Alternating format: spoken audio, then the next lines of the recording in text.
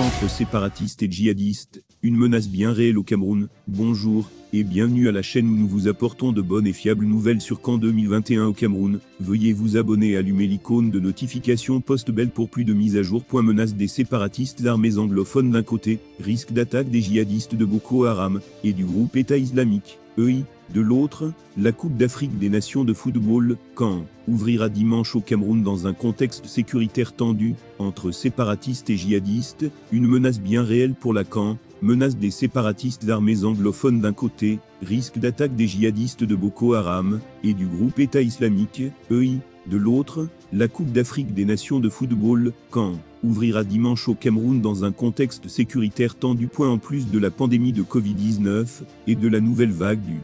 variant Omicron, qui ont suscité d'intenses spéculations sur un report de la compétition phare du ballon rond sur le continent. La sécurité est l'autre grand défi des organisateurs dans ce pays en situation de guerre sur une partie de son territoire. Depuis 4 ans, les régions, habitées principalement par la minorité anglophone, du sud-ouest et du nord-ouest sont en proie à un sanglant conflit entre des groupes armés, qui réclament l'indépendance en multipliant les attaques meurtrières, et les forces de sécurité, qui mènent une répression impitoyable. Les violences ont fait plus de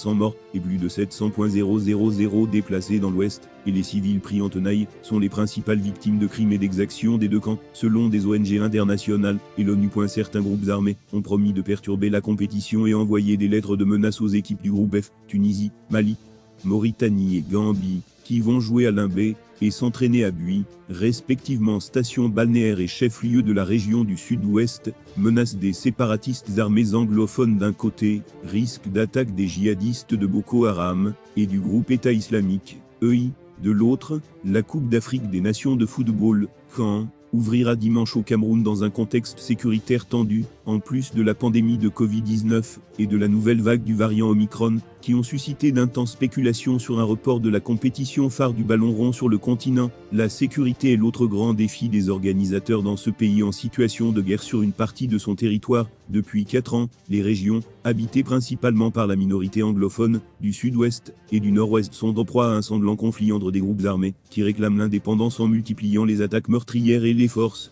de sécurité qui mènent une répression impitoyable. Les violences ont fait plus de 3.500 morts et plus de 700.000 déplacés dans l'Ouest, et les civils pris en tenaille, sont les principales victimes de crimes et d'exactions des deux camps, selon des ONG internationales, et l'ONU. Certains groupes armés ont promis de perturber la compétition et envoyer des lettres de menace aux équipes du groupe F, Tunisie, Mali, Mauritanie et Gambie, qui vont jouer à Limbé et s'entraîner à Buis, respectivement station balnéaire et chef-lieu de la région du sud-ouest. Dispositif exceptionnel dans la capitale Yaoundé, à quelques 250 km à l'est de la frontière des zones anglophones, l'ambiance était lundi beaucoup plus relâchée et seule, quelques agents de sécurité surveillaient d'un œil distrait les derniers préparatifs autour du stade tout neuf de Lambé, construit pour la camp et entre de l'équipe nationale, les lions indomptables. La situation sécuritaire ne cause du souci véritablement que dans le nord-ouest et le sud-ouest, mais je pense que nos forces de défense ont suffisamment d'expérience pour y répondre, veut croire James Mwankobila,